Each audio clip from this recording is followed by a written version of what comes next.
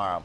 It's a major week for one of our local professional golfers. Derry's Rich Berberian Jr., an assistant club pro at Windham Country Club, will compete in the PGA Championship at Baltusrol Golf Club in New Jersey. Practice rounds began today. This is the second major for Rich. He played in the U.S. Open last year.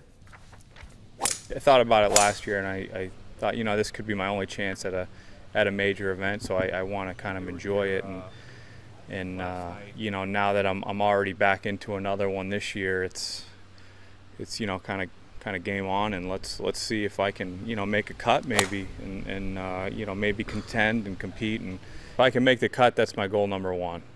Anything after that after that is a bonus.